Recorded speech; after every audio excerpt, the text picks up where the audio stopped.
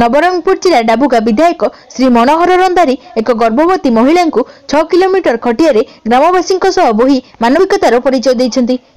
ବିଧାୟକ ଶ୍ରୀ ମନୋହର ରନ୍ଦାରୀ ନିଜ ନିର୍ବାଚନ ମଣ୍ଡଳୀର ମୈଦାଲପୁର ପଞ୍ଚାୟତର କୁସୁମଖୁଣ୍ଟା ଗ୍ରାମକୁ ଲୋକଙ୍କ ସମସ୍ୟା ଜାଣିବାକୁ ଯାଇଥିଲେ। ଏହି ସମୟରେ କୁସୁମଖୁଣ୍ଟା ଗ୍ରାମର ମାନବ ବେହେରାଙ୍କ ସ୍ତ୍ରୀ ଜେମା ପ୍ରସୂତି ଗର୍ଭ ଯନ୍ତ୍ରଣା ଦେଖି କିଛି ଗ୍ରାମବାସିନ୍ଦାଙ୍କ ସହ ଏକ ଖଟିଆ ଯୋଗେ ବିଧାୟକ ମହିଳା ଜଣଙ୍କୁ ବୋହି ଆଣିଥିଲେ। ସେହି ଜାଗାକୁ କୌଣସି ଆମ୍ବୁଲାନ୍ସ ଚାରିଚକିଆ ଯାନ ଯିବା କଷ୍ଟକର ହୋଇଥିବାରୁ ବିଧାୟକ ଶ୍ରୀ ରନ୍ଧାରୀ କାନ୍ଧରେ ବୋହି ଛଅ କିଲୋମିଟର ଆସିବା ପରେ ନିଜ ଗାଡ଼ିରେ ଗର୍ଭବତୀ ମହିଳାଙ୍କୁ ଡାବୁକା ସ୍ୱାସ୍ଥ୍ୟ କେନ୍ଦ୍ରରେ ଭର୍ତ୍ତି କରିଛନ୍ତି। ବର୍ତ୍ତମାନ ସେଠାରେ ମହିଳାଙ୍କ ଚିକିତ୍ସା ଚାଲିଛି। ନବରଙ୍ଗପୁରରୁ ସୀମାଦ୍ରି ପଟ୍ଟନାୟକଙ୍କ ରିପୋର୍ଟ ପରିଦର୍ଶକ ମିଡିଆ। କେନ୍ଦ୍ରାପଡ଼ା ଜିଲ୍ଲା ମାର୍ଶାଘାଇ ଥାନା ଅନ୍ତର୍ଗତ କେନାଲ ବ୍ରିଜ ନିକଟରେ ଗୋଟିଏ ମେଣ୍ଟାଲ ବୋଝେଇ ହାଇବା ଭାରସାମ୍ୟ ହରାଇ ଏକ ବାଇକକୁ ଧକ୍କା ଦେଇ ରାଜପଥ ଉପରୁ ତଳକୁ ଖସି ଦୁର୍ଘଟଣା ଘଟିଛି। ଏହି ଦୁର୍ଘଟଣାରେ ବାଇକ୍ ଚାଳକ ସ୍ଥାନୀୟ ଦୁମୁକା ଗ୍ରାମର ଜଣେ ଯୁବକ ରାସ୍ତାରେ ଯାଉଥିବା ବେଳେ ଗୁରୁତର ଆହତ ହୋଇଛନ୍ତି। ଚଣ୍ଡିଖୋଲରୁ ମେଣ୍ଟାଲ ବୋଝେଇ କରି ଆଣିଥିବା ହାଇବା ଟ୍ରକ୍ଟି କେନାଲ ବ୍ରିଜ ଉପରେ ଭାରସାମ୍ୟ ହରାଇ ବ୍ରିଜ ଶେଷ ମୁଣ୍ଡରେ ତଳକୁ ଖସି ପଡ଼ିଥିଲା। ତେବେ ଦୁର୍ଘଟଣା ଘଟାଇଥିବା ହାଇବା ଡ୍ରାଇଭର ଫେରାର ହୋଇଯାଇଥିବା ବେଳେ ହାଇବା ଅଧବାଟରେ ଲଟକି ଯାଇ ରହିଥିବା ଲୋକମାନେ ସୌଭାଗ୍ୟବଶତଃ ରକ୍ଷା ପାଇଯାଇଥିଲେ। ଘଟଣାସ୍ଥଳରେ ମାର୍ଶାଘାଇ ପୋଲିସ ପହଞ୍ଚି ହାଇବାଟିକୁ ଜବତ କରିଥିବା ବେଳେ ଆହତ ଯୁବକ ଜଣକ ଗୁରୁତର ହୋଇଥିବାରୁ ତାଙ୍କୁ କଟକ ସ୍ଥାନାନ୍ତରିତ କରାଯାଇଥିବା ସୂଚନା ମିଳିଛି। କେନ୍ଦ୍ରାପଡ଼ାରୁ ପିନାକୀ ସାମନ୍ତରାୟଙ୍କ ରିପୋର୍ଟ ପରିଦର୍ଶକ ମିଡିଆ। ଝାରସୁଗୁଡ଼ା ରେଲୱେ ପୋଲିସ ଧାମନଗରରେ ପହଞ୍ଚି ପୋଲିସ ସହାୟତାରେ ଧାମନଗର ଛନକା ପରିସରରୁ ଦୁଇ ଜଣଙ୍କୁ ଚାଉଳ ଚୋରି କରିଥିବା ଅଭିଯୋଗରେ ଗିରଫ କରି ଝାରସୁଗୁଡ଼ା ନେଇ ଅଧିକ ପଚରାଉଚରା କରୁଛନ୍ତି। ସୂଚନା ଅନୁସାରେ ଆରପିଏଫ୍ ଥାନା ଝାରସୁଗୁଡ଼ା କେସ୍ ନମ୍ବର ଦୁଇ ବାଇ କୋଡ଼ିଏ ମାମଲା ରୁଜୁ କରି ଫୋନ୍ ଟ୍ରାକିଂ ମାଧ୍ୟମରେ ସୂଚନା ପାଇଥିଲେ ଯେ ଅଭିଯୁକ୍ତମାନେ ଧାମନଗର ଲୋକେସନରେ ଅଛନ୍ତି। ଗତ ଏକ ମାସ ତଳେ ଟ୍ରେନ୍ରୁ ତିନିଶହ ବସ୍ତା ଚାଉଳ ଚୋରି କରିବା ଘଟଣା ଝାରସୁଗୁଡ଼ା ରେଲୱେ କର୍ତ୍ତୃପକ୍ଷଙ୍କ ନିଦ ହଜାଇ ଦେଇଥିଲା। କେବଳ ସେତିକି ନୁହେଁ ଏହି ଘଟଣାରେ ଆରପିଏଫ୍ର ପାଞ୍ଚରୁ ଅଧିକ ଉପରିସ୍ଥ ଅଧିକାରୀ ନିଲମ୍ବିତ ମଧ୍ୟ ହୋଇଛନ୍ତି। ଏହି ଅଭିଯୁକ୍ତଙ୍କ ନାମରେ ଦଶରୁ ଅଧିକ ଚୋରି ମାମଲା ଥିବା ପୋଲିସ ପକ୍ଷରୁ ସୂଚନା ମିଳିଛି। ଭଦ୍ରକରୁ ଲାଲା ପ୍ରମୋଦ ରାୟଙ୍କ ରିପୋର୍ଟ ପରିଦର୍ଶକ ମିଡିଆ। ଚିଲିକା ନିର୍ବାଚନ ମଣ୍ଡଳୀ ବାଣପୁର ବ୍ଲକ ଗମ୍ଭାରୀମୁଣ୍ଡା ପଞ୍ଚାୟତରେ ଅନାସ୍ଥା ପ୍ରସ୍ତାବରେ ଭାରତୀୟ ଜନତା ପାର୍ଟି ବାଜିମାତ କରୁଥିବା ଅନୁମାନ କରାଯାଉଛି। ସୂଚନା ମୁତାବକ ଗମ୍ଭାରୀମୁଣ୍ଡା ବିଜେଡି ସରପଞ୍ଚଙ୍କ କାର୍ଯ୍ୟକଳାପରେ ଅତିଷ୍ଠ ହୋଇ ଗମ୍ଭାରୀମୁଣ୍ଡା ପଞ୍ଚାୟତର ସଭ୍ୟମାନେ ଦସ୍ତଖତ ମାଧ୍ୟମରେ ସ୍ଥାନୀୟ ବାଣପୁର ବିଡିଓ ଶ୍ରୀଯୁକ୍ତ ଶିବାନନ୍ଦ ସ୍ୱାଇଁଙ୍କୁ ଜଣାଇଥିଲେ। ପରବର୍ତ୍ତୀ ସମୟରେ ପଞ୍ଚାୟତର ସଭ୍ୟଙ୍କ ଦସ୍ତଖତ ଜାଲ ବୋଲି କହି ସଭ୍ୟଙ୍କ ବିରୁଦ୍ଧରେ ସରପଞ୍ଚ ବିଡିଓଙ୍କୁ ଅଭିଯୋଗ କରିଥିଲେ। ଏହି ଅଭିଯୋଗକୁ ଭିତ୍ତି କରି ବାଣପୁର ବିଡିଓ ଦୂରଦୃଷ୍ଟିକୁ ନଜର ରଖି ସଭ୍ୟଙ୍କ ଦସ୍ତଖତ ଖୋର୍ଦ୍ଧା ଅତିରିକ୍ତ ଜିଲ୍ଲାପାଳଙ୍କ କାର୍ଯ୍ୟାଳୟରେ ତଦନ୍ତ କରାଯାଇ ତାହା ସଠିକ୍ ପ୍ରମାଣିତ କରି ଅନାସ୍ଥା ପ୍ରସ୍ତାବର ଭୋଟ ଗ୍ରହଣ କରାଯାଇଥିଲା। ସମ୍ପୂର୍ଣ୍ଣ ଏଗାର ଜଣ ସଭ୍ୟଙ୍କ ମଧ୍ୟରୁ ଆଠ ଜଣ ସଭ୍ୟଙ୍କ ଭୋଟ ଅନାସ୍ଥା ପ୍ରସ୍ତାବ ସପକ୍ଷରେ ଯାଇଥିବାର ଅନୁମାନ କରାଯାଉଛି। ଚିଲିକାରେ ଶାସନ ଦଳ ବିଜେଡି ଥାଉ ଥାଉ ଯଦି ବିଜେପି ସପକ୍ଷରେ ଭୋଟ ଯାଇ ଏହା ନିର୍ବାଚନ ମଣ୍ଡଳୀ ପାଇଁ କ'ଣ ଦର୍ଶାଉଛି ବୋଲି ସାଧାରଣ ଲୋକମାନଙ୍କ ମଧ୍ୟରେ ଚର୍ଚ୍ଚାର ବିଷୟ ପାଲଟିଛି। ପଞ୍ଚାୟତ ଅଫିସଠାରେ ସବ୍ ଡିଭିଜନ ପୋଲିସ ଅଧିକାରୀ ଏସ୍କେ ଦାସଙ୍କ ତତ୍ତ୍ୱାବଧାନରେ ବାଲୁଗାଁ ପାଣପୁର ନାଚୁଣୀ ଟାଙ୍ଗୀ ପୋଲିସ ଓ ଦମକଳ ବାହିନୀ ତରଫରୁ ବ୍ୟାପକ ବନ୍ଦୋବସ୍ତ କରାଯାଇଥିଲା। ଖୋର୍ଦ୍ଧାରୁ ସୁଧୀର କୁମାର ବେହେରାଙ୍କ ରିପୋର୍ଟ ପରିଦର୍ଶକ ମିଡିଆ। ଖୋର୍ଦ୍ଧା ଜିଲ୍ଲା ବାଲୁଗାଁ ଅଶୋକନଗର ସ୍ଥିତ ଉମା ମହେଶ୍ୱର ବଣିକ ସଂଘ ସଭାଗୃହରେ ଶ୍ରୀ ଶ୍ରୀ ଉମା ମହେଶ୍ୱର ବଣିକ ସଂଘର ପଚାଶ ବର୍ଷ ପୂର୍ତ୍ତି ଉପଲକ୍ଷେ ମହା ଆଡମ୍ବରରେ ସୁବର୍ଣ୍ଣ ଜୟନ୍ତୀ ପାଳନ ହୋଇଯାଇଛି। ଏହି ପରିପ୍ରେକ୍ଷୀରେ ଏକ ସଭା ଆୟୋଜିତ ହୋଇଥିଲା। ଏହି ସଭାରେ ଚିଲିକା ବିଧାୟକ Prashant Kumar Jagdev confederation of all India ଟ୍ରେଡ୍ର ସଭାପତି ବିସି ଭାରତୀୟା ପୂର୍ବତନ ବିଧାୟକ ରଘୁନାଥ ସାହୁ ଓଡ଼ିଶା ବ୍ୟବସାୟୀ ମହାସଂଘର ସଭାପତି ସି ରବୀନ୍ଦ୍ରନାଥ ଓଡ଼ିଶା ବ୍ୟବସାୟୀ ମହାସଂଘର ମହାସଚିବ ସୁଧାକର ପଣ୍ଡା ଏବଂ ବାଲୁଗାଁ ଉମାମହେଶ୍ୱର ବଣିକ ସଂଘର ସଭାପତି ରବିନାରାୟଣ ନାୟକ ପ୍ରମୁଖ ଯୋଗଦେଇ ଏ ସଭାରେ ବିଶେଷ କରି ଜିଏସ୍ଟି ଟ୍ରେଡ୍ ଲାଇସେନ୍ସ ଇତ୍ୟାଦି ବିଷୟରେ ଆଲୋକପାତ କରାଇଥିଲେ। ଜିଏସ୍ଟି ସରଳୀକରଣ ବିଷୟରେ ବ୍ୟବସାୟୀମାନେ ଦାବି କରିଥିବା ବେଳେ ବଣିକ ସଂଘର ସୁବର୍ଣ୍ଣ ଜୟନ୍ତୀ ସ୍ମରଣିକା ଉନ୍ମୋଚନ କରିଥିଲେ। ଖୋର୍ଦ୍ଧାରୁ ସୁଧୀର କୁମାର ବେହେରାଙ୍କ ରିପୋର୍ଟ ପରିଦର୍ଶକ ମିଡିଆ। ଭଦ୍ରକରେ ଏବେ ମାତିଛନ୍ତି ଲୁଟେରା। ଦିନ ହେବା ରାତି ସବୁ ସମୟରେ ଲୁଟ୍ କରି ଚାଲିଛନ୍ତି ଲୁଟେରାମାନେ। ଭଦ୍ରକର ସାମରାଇପୁରରେ ଏକ ଘର ଓ ନୂଆବଜାର କିଡ୍ସ ୱାର୍ଲ୍ଡ ମୋବାଇଲ ଦୋକାନ ଲୁଟ୍ ଘଟଣାର ଦୁଇ ଦିନ ପରେ ପୁଣି ଜଣଙ୍କ ଘରେ କଳାକନା ବୁଲାଇଲେ ଦୁର୍ବୃତ୍ତ।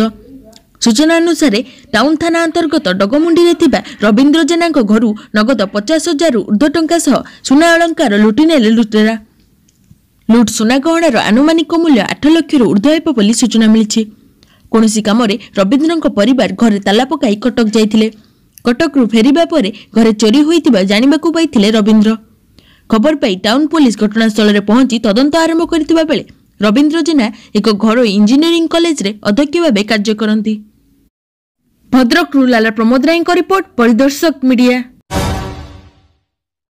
ଭଦ୍ରକ ସହର ଚରମ୍ପା ଡାହାଣୀକୋଡ଼ିଆ ସ୍ଥିତ ଆଇସିଆଇସିଆଇ ବ୍ୟାଙ୍କ ପାଖରେ ଥିବା ବ୍ରିଜ ନିକଟରେ ଏକ ପରିତ୍ୟକ୍ତ ଘରୁ ମୃତଦେହ ଝୁଲନ୍ତା ଅବସ୍ଥାରେ ଉଦ୍ଧାର ହୋଇଛି। ମୃତକ ଜଣକ ହେଲେ ଡାହାଣୀକୋଡ଼ିଆ ମଠସାହି ଅଞ୍ଚଳର କାଳିଆ ଦାସ। ପ୍ରାପ୍ତ ଖବରରୁ ଜଣାଯାଏ କାଳିଆ ଦୁଇ ତାରିଖରୁ କେଉଁଆଡ଼େ ଯାଇଥିଲେ ଯେ ଆଉ ଘରକୁ ଫେରି ନଥିଲେ। ତେବେ ଏ ସମ୍ପର୍କରେ କାଳିଆଙ୍କ ଖୁଡି ସୁରୀତି ଦାସ ସଦର ଥାନାରେ ଚାରି ତାରିଖରେ ଏକ ଅଭିଯୋଗ ଦାଖଲ କରିଥିଲେ। ମୃତ କାଳିଆଙ୍କ ଦାଦା ପୁଅ କୋଳି ଖାଇବା ଉଦ୍ଦେଶ୍ୟରେ ଏହି ପରିତ୍ୟକ୍ତ ଘର ଆଡ଼େ ଯାଇଥିବା ବେଳେ ଭାଇ କାଳିଆକୁ ଝୁଲନ୍ତା ଅବସ୍ଥାରେ ଦେଖିବାକୁ ପାଇଥିଲେ। ପରେ ଖବର ପାଇ ଘଟଣାସ୍ଥଳରେ ପହଞ୍ଚି ମୃତକଙ୍କୁ ଉଦ୍ଧାର କରି ଶବ ବ୍ୟବଚ୍ଛେଦ ପାଇଁ ମୁଖ୍ୟ ଚିକିତ୍ସାଳୟକୁ ପଠାଇଥିବା ବେଳେ ଏହା ହତ୍ୟା ନା ଆତ୍ମହତ୍ୟା ଏ ବିଷୟରେ କିଛି କହିପାରୁନାହାନ୍ତି ପରିବାର ଲୋକେ। ଭଦ୍ରକରୁ ଲାଲା ପ୍ରମୋଦ ରାୟଙ୍କ ରିପୋର୍ଟ ପରିଦର୍ଶକ ମିଡିଆ। ଓଡ଼ିଶା ହାଇକୋର୍ଟରେ ବିଚାରପତିଙ୍କ ସଂଖ୍ୟା ଚଉଦରେ ପହଞ୍ଚିଲା। ଜଷ୍ଟିସ ସଞ୍ଜୀବ ପାଣିଗ୍ରାହୀ ଓଡ଼ିଶା ହାଇକୋର୍ଟର ନୂଆ ବିଚାରପତି ଭାବେ ଶପଥ ଗ୍ରହଣ କରିଛନ୍ତି ବିଧିବଦ୍ଧ ଭାବେ ହାଇକୋର୍ଟ ମୁଖ୍ୟ ବିଚାରପତି ଭାବେ ଦାୟିତ୍ୱରେ ଥିବା ଜଷ୍ଟିସ ସଞ୍ଜୁ ପଣ୍ଡା ଶପଥ ପାଠ କରାଇଥିଲେ ଏହି ଶପଥ ଗ୍ରହଣ ଉତ୍ସବରେ ବହୁ ସଂଖ୍ୟାରେ ଆଇନଜୀବୀ ଓ ଅନ୍ୟ ବିଚାରପତିମାନେ ଯୋଗ ଦେଇଥିଲେ ମହାମହିମ ରାଷ୍ଟ୍ରପତି ସଞ୍ଜୀବ ପାଣିଗ୍ରାହୀଙ୍କୁ ଓଡ଼ିଶା ହାଇକୋର୍ଟରେ ବିଚାରପତି ଭାବେ ନିଯୁକ୍ତି ପ୍ରଦାନ କରିଛନ୍ତି ଜଷ୍ଟିସ ପାଣିଗ୍ରାହୀଙ୍କ ନିଯୁକ୍ତି ପରେ ହାଇକୋର୍ଟର ବିଚାରପତି ସଂଖ୍ୟା ଚଉଦରେ ପହଞ୍ଚିଛି। ବଲାଙ୍ଗୀରର ସଦର ବାରପୁଡୁକିଆ ଗାଁରେ ନିମାଇ ଚରଣ ପାଣିଗ୍ରାହୀ ଓ ମନ୍ଦାକିନୀ ପାଣିଗ୍ରାହୀଙ୍କ ପ୍ରଥମ ସନ୍ତାନ ସଞ୍ଜୀବ। ବାରପୁଡୁକିଆ ଓ ଖୁଣ୍ଟପାଲିରୁ ପ୍ରାଥମିକ ଶିକ୍ଷା ପରେ ବଲାଙ୍ଗୀରର ପୃଥ୍ୱୀରାଜ ହାଇସ୍କୁଲରେ ଶିକ୍ଷାଲାଭ କରିଥିଲେ। ଏହାପରେ ସେ ରାଜେନ୍ଦ୍ର ହାଇସ୍କୁଲରେ ସ୍ନାତକ ଶିକ୍ଷା ଶେଷ ପରେ ବେଙ୍ଗାଲୁରୁରୁ ଜାତୀୟ ବିଶ୍ୱବିଦ୍ୟାଳୟରୁ ଏଲ୍ଏଲ୍ବି ଓ ଏଲ୍ଏଲ୍ଏମ୍ ଡିଗ୍ରୀ ହାସଲ କରିଛନ୍ତି। କଟକ ଜାତୀୟ ଆଇନ ବିଶ୍ୱବିଦ୍ୟାଳୟରେ ଜଷ୍ଟିସ ପାଣିଗ୍ରାହୀ ନିକଟରେ ତାଙ୍କର ପିଏଚ୍ଡି ଥେସିସ୍ ପେପର ଦାଖଲ କରିଥିବା ଜଣାପଡ଼ିଛି। ଓଡ଼ିଶା ରାଜ୍ୟ ଆଇନଜୀବୀ ପରିଷଦର ନାମ ପଞ୍ଜୀକରଣ ପରେ ଦୁଇହଜାର ଛଅରେ ଓକିଲାତି ପେସାରେ ଯୋଗ ଦେଇଥିଲେ justice Panigrahi. Odisha high court ଓ ସୁପ୍ରିମକୋର୍ଟ ସମେତ ମାଡ୍ରାସ ଦିଲ୍ଲୀ କେରଳ କୋଲକାତା ଚଣ୍ଡିଗଡ଼ ଗୁଜରାଟ ହାଇକୋର୍ଟରେ ଅନେକ ମାମଲା ସଫଳତାର ସହ ସେ ପରିଚାଳନା କରିଛନ୍ତି। ଏହା ସହ ବହୁ ଆଇନ ପୁସ୍ତକ ଜଷ୍ଟିସ ପାଣିଗ୍ରାହୀ ଲେଖିଥିବା ବେଳେ ବିଦେଶୀ ପ୍ରକାଶକଙ୍କ ଦ୍ୱାରା ଏ ସମସ୍ତ ପୁସ୍ତକ ପ୍ରକାଶିତ ହୋଇଛି। କଟକରୁ ଜଗନ୍ନାଥ ପ୍ରସାଦ ମହାନ୍ତିଙ୍କ ରିପୋର୍ଟ ପରିଦର୍ଶକ ମିଡିଆ।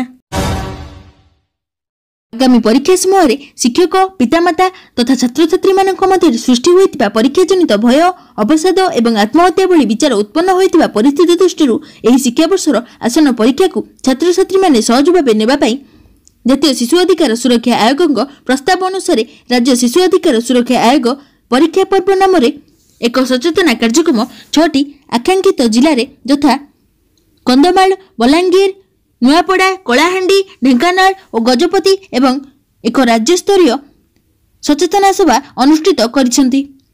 ପ୍ରଧାନମନ୍ତ୍ରୀ ଶ୍ରୀଯୁକ୍ତ ନରେନ୍ଦ୍ର ମୋଦି ଏହି କାର୍ଯ୍ୟକ୍ରମରେ ଦେଇଥିବା ଉପଦେଶଗୁଡ଼ିକ ସମସ୍ତ ପରୀକ୍ଷାର୍ଥୀ ସେମାନଙ୍କ ପିତାମାତା ଅଭିଭାବକ ଏବଂ ଶିକ୍ଷାଦାନ କରୁଥିବା ଶିକ୍ଷକ ଓ ଶିକ୍ଷୟିତ୍ରୀମାନଙ୍କ ପାଖରେ ପହଞ୍ଚାଇବା ଲକ୍ଷ୍ୟରେ ଜିଲ୍ଲାସ୍ତରୀୟ ସଚେତନା କାର୍ଯ୍ୟକ୍ରମ ହୋଇଥିଲା। ଭୁବନେଶ୍ୱରରୁ ବ୍ୟୁରୋ ରିପୋର୍ଟ ପରିଦର୍ଶକ ମିଡିଆ। କଟକ ବାରଙ୍ଗ ଥାନା ଅନ୍ତର୍ଗତ ଗୋଡ଼ିସାହିରେ ଥିବା ଏକ ଗହଣା ଦୋକାନରୁ ବନ୍ଧୁକ ମୁନରେ ଶହେ ଗ୍ରାମରୁ ଉର୍ଦ୍ଧ୍ୱ ଓଜନର ସୁନା ଗହଣା ଲୁଟି ନେଲେ ଛଅ ଜଣ ଦୁର୍ବୃତ୍ତ।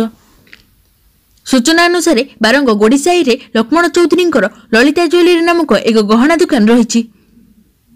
ଅଚାନକ ଛଅ ଜଣ ଦୁର୍ବୃତ୍ତ ଦୋକାନ ମଧ୍ୟକୁ ପଶି ଆସିଥିଲେ। ପରେ ଚାରି ଜଣ ଦୋକାନ ମଧ୍ୟରେ ଲୁଟପାଟ ଚଳାଇଥିବା ବେଳେ ବାହାରେ ଦୁଇ ଜଣ ଜଗି ରହିଥିଲେ। ଏହି ସମୟରେ ଘର ମାଲିକଙ୍କ ପୁଅ ଆସିବାରୁ ତାଙ୍କୁ ବନ୍ଧୁକ ମୁନରେ ଧମକାଇ ଚୁପ୍ ରହିବାକୁ କହିଥିଲେ। ଭିତରେ ଥିବା ଦୁର୍ବୃତ୍ତମାନେ ପ୍ରାୟ କୋଡ଼ିଏ ମିନିଟ୍ ଧରି ଦୋକାନ ମଧ୍ୟରୁ ଲୁଟପାଟ ଚଳାଇଥିବା ବେଳେ ଦୋକାନୀ ମାଲିକ କେବଳ ଦର୍ଶକ ଭଳି ଭୟଭୀତ ଅବସ୍ଥାରେ ଅନାଇ ରହିଥିଲେ। ଦୁର୍ବୃତ୍ତମାନେ ନିଜ ନିଜ ଭିତରେ ହିନ୍ଦୀ କଥାବାର୍ତ୍ତା ହେଉଥିଲେ। ପ୍ରାୟ ଶହେ ଗ୍ରାମରୁ ଉର୍ଦ୍ଧ୍ୱ ସୁନା ଓ ସାତ କେଜି ରୂପା ଲୁଟ୍ ହୋଇଥିବା କଥା କହିଛନ୍ତି ଦୋକାନ ମାଲିକ। ଏହି ଘଟଣାକୁ ନେଇ କଟକ ବାରଙ୍ଗ ଥାନାରେ ଏକ ଏତଲା ଦେଇଛନ୍ତି ସୁନା ଦୋକାନ ମାଲିକ। ଅନ୍ୟପଟେ ପୋଲିସ ଘଟଣାର ତଦନ୍ତ ଆରମ୍ଭ କରିଥିବା ଜଣାପଡ଼ିଛି। କଟକରୁ ଜଗନ୍ନାଥ ପ୍ରସାଦ ମହାନ୍ତିଙ୍କ ରିପୋର୍ଟ ପରିଦର୍ଶକ ମିଡିଆ। ନବରଙ୍ଗପୁର ବିଜୁ ଜନତା ଦଳର ସଭାପତି ଶ୍ରୀ ପ୍ରହ୍ଲାଦ ତ୍ରିପାଠୀଙ୍କ ଅଧ୍ୟକ୍ଷତାରେ ସ୍ଥାନୀୟ ମନୀଷା ହୋଟେଲ କନଫରେନ୍ସ ହଲରେ ଏକ ସାମ୍ବାଦିକ ସମ୍ମିଳନୀ ଅନୁଷ୍ଠିତ ହୋଇଯାଇଛି। ଏହି ସାମ୍ବାଦିକ ସମ୍ମିଳନୀରେ ନବରଙ୍ଗପୁର ବିଧାୟକ ଶ୍ରୀ ସଦାଶିବ ପ୍ରଧାନୀ ନଗର ସଭାପତି ଶ୍ରୀ ପ୍ରମୋଦ ରଥ ସମେତ ଦଳର କାର୍ଯ୍ୟକର୍ତ୍ତା ଉପସ୍ଥିତ ଥିଲେ। ଗତକାଲି କଂଗ୍ରେସ ଦଳ ତରଫରୁ ଏକ ସାମ୍ବାଦିକ ସମ୍ମିଳନୀ କରି ବିଜୁ ଜନତା ଦଳ ଉପରେ ଯେଉଁ ପୌରପାଳିକାର ଦୁର୍ନୀତି ଅଭିଯୋଗ ଆଣି ଗଣମାଧ୍ୟମରେ ପ୍ରସାରିତ ହେଉଛି ତାର ବଦଳରେ ସଭାପତି ଶ୍ରୀ ତ୍ରିପାଠୀ ଏକ ସାମ୍ବାଦିକ ସମ୍ମିଳନୀ କରି କହିଛନ୍ତି କଂଗ୍ରେସ ବାରମ୍ବାର ଗୋଟିଏ କଥାକୁ ଦୋହରାଉଛି ଯଦି ବିଜୁ ଜନତା ଦଳ ଦୁର୍ନୀତିଗ୍ରସ୍ତ ହୋଇଥାନ୍ତା ତାହେଲେ ଆଜି ପର୍ଯ୍ୟନ୍ତ ନବରଙ୍ଗପୁର ପୌରପାଳିକା ବିଜୁ ଜନତା ଦଳ ଶାସନରେ ନଥାନ୍ତା। ଶ୍ରୀ ତ୍ରିପାଠୀ ଖୁଲମଖୁଲା ପୂର୍ବତନ ସାଂସଦ ଶ୍ରୀ ପ୍ରଦୀପ ମାଝୀ କେତେ ଦୁର୍ନୀତିଗ୍ରସ୍ତ ତାହା ଆଗାମୀ ଦିନରେ ଖୁଲାସା କରାଯିବ ସେ କହିଛନ୍ତି ନବରଙ୍ଗପୁରରୁ ସୀମାଦ୍ରି ପଟ୍ଟନାୟକଙ୍କ ରିପୋର୍ଟ ପରିଦର୍ଶକ ମିଡିଆ ଭଦ୍ରକ ଜିଲ୍ଲା ବନ୍ତ ଥାନା ଅନ୍ତର୍ଗତ ଜିରେଣା ଗ୍ରାମର ଜିତେନ୍ଦ୍ର ଦାସ ଥାନା ଅଧିକାରୀଙ୍କ କାର୍ଯ୍ୟାନୁଷ୍ଠାନରେ ନିଷ୍କ୍ରିୟତାକୁ ବିରୋଧ କରି ଜିଲ୍ଲାପାଳ ଓ ଆରକ୍ଷୀ ଅଧୀକ୍ଷକଙ୍କୁ ତଦନ୍ତ ନିମନ୍ତେ ଦାବିପତ୍ର ପ୍ରଦାନ କରିଛନ୍ତି।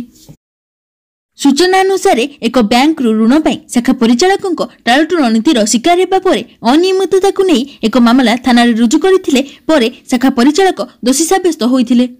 ହେଲେ ଏହି ମାମଲା ଚାରି ବର୍ଷ ହେବ ତାଙ୍କ ନାମରେ ପୋଲିସ କେସ୍ ନ କରିବାରୁ ପରେ ତଦନ୍ତରେ ଶିଥିଳତାକୁ ନେଇ ଜିତେନ୍ଦ୍ର ଜିଲ୍ଲାପାଳ ଓ ଆରକ୍ଷୀ ଅଧୀକ୍ଷକଙ୍କ ଆଗରେ ବାରମ୍ବାର ଅଭିଯୋଗ କରିଥିଲେ ମଧ୍ୟ କୌଣସି କାର୍ଯ୍ୟାନୁଷ୍ଠାନ ନ ହେବାରୁ ଏସ୍ପିଙ୍କୁ ଭେଟିବା ସହ କୌଣସି କାର୍ଯ୍ୟାନୁଷ୍ଠାନ ନ ହେଲେ ଅନଶନରେ ବସିବେ ବୋଲି କହିଛନ୍ତି। ଭଦ୍ରକରୁ ଲାଲା ପ୍ରମୋଦ ରାୟଙ୍କ ରିପୋର୍ଟ ପରିଦର୍ଶକ ମିଡିଆ।